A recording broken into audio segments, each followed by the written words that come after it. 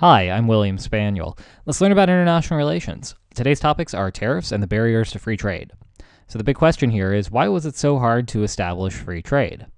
A fun fact about the world is that free trade is a historically new phenomenon. Up until the end of World War II, the norm around the world was that states set up tariffs or import taxes on imported goods. So when one country tried to sell its products in another country, that second country would tax the products coming in and thereby forcing the products to be sold at a higher rate in those markets. Now, as we all know, taxes aren't particular fun, aren't particularly fun, but tariffs are actually good at bolstering domestic companies. If I tax imported goods in my country, then that makes my own products more competitive within my borders because the other competing products from outside the country are more expensive. So this protects the companies that are within my own borders, my own companies. But on the other hand, Econ 101 tells us that taxes raise consumer prices, and that's generally a bad thing. So there's a trade off here. To illustrate this trade off a little bit further, let's consider the plight of the Mexican winery. So, Mexico doesn't have the biggest grape producing climate in the world. It's not really that great at producing grapes. So, a made up Mexican winery, which I'm calling El Vino Nacional, would have to spend much more money to produce quality grapes than your average winery would. And the company would have to pass that on, those additional costs, onto consumers, or they would risk go, going out of business because they can't just run their business at a loss and be sustainable over the course of the long term. So the fact that it costs them more to make more or better grapes means they're going to have to charge more for their bottles of wine. Now, consider a predatory California winery. California has a great climate for grapes and can make wine with ease. So, these Californian companies can flood the Mexican market with wine and put El Vino Nacional out of business.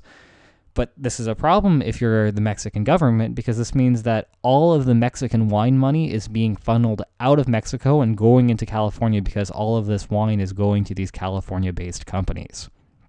Now, one solution, if you're the Mexican government, is to impose tariffs. If Mexico taxes the imported wine from California, the prices for Vino Nacional's wine are going to be competitive with the Californian wines. And so the money that would otherwise be funneling out of the country and into California will stay in Mexico. So that's good for Mexico if you're the Mexican government.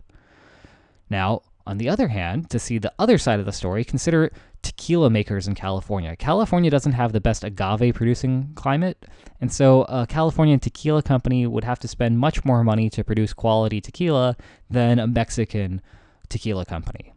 And this Californian company is going to have to produce, or it's going to have to pass this additional cost on to consumers or go out of business for the same reason why the Mexican winery has to do that. It has to pass these costs on to the consumers. But if you're a predatory Mexican tequila company, then well, you live in Mexico, you have a great climate for agave, and you can make wonderful tequila. And so you can export your tequila into California. The Mexican tequila companies can flood the California market with Mexican tequila, drive these Californian companies out of business. And that's great for Mexico, but that's bad for California because this is funneling American money out of California and into Mexico. So, California's solution, or the solution for the United States, is to impose a tariff on the tequila, and that will raise the prices of the Mexican tequila within the borders of California and force uh, California consumers to buy the Mex or to not buy the Mexican tequila and rather buy the Californian tequila. So this tequila money that was otherwise flooding out of California is going to stay within California. So the outcome, when both of these guys are establishing these tariffs to produce or to, to protect the companies within their own borders, the Mexican winery and the California Tequila Company, you get tariffs everywhere. You get Mexico taxing imports from California and California taxing imports from Mexico and you end up having everybody lose because you have an inefficient economy. There are taxes going around, and like we said before, Econ 101 tells us that, well, having taxes leads to an inefficient economy, and you'd be better off just removing those taxes and let everything run smoothly. To see how this works in terms of a strategic model, let's look at it this way. Let's think of this as California and Mexico having a choice to make where they both choose whether to tax the other guy or have free trade. So if California chooses freedom, then it's not going to tax Mexican products. And if it chooses taxation, then it will. And likewise, if Mexico chooses freedom, then there aren't any tariffs. If Mexico chooses taxation, then there are. So let's think about the outcomes here. So there are four different outcomes, right? Two strategies for each player leads to four outcomes.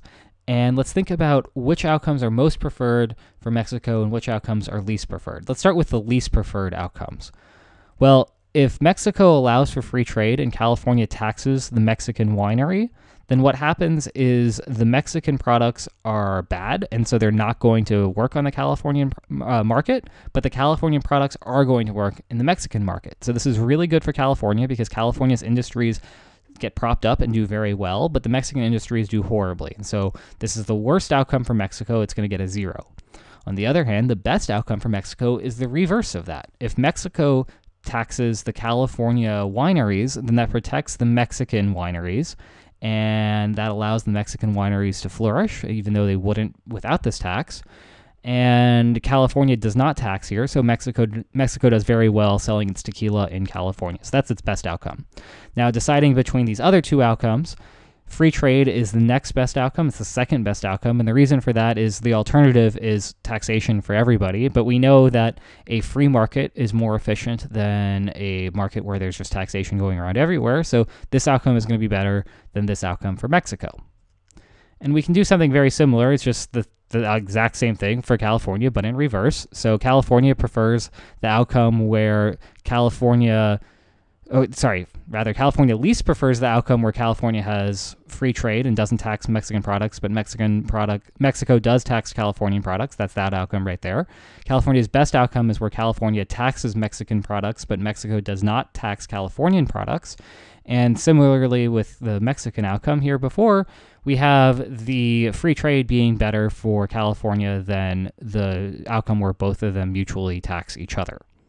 Now, this, as it turns out, it's called the free trade game, but it's just a prisoner's dilemma. And so if you want to pause the video and see for yourself, you can check it out and make sure. But regardless of what the other guy is doing, it's in each individual actor's best interest to tax the other guy.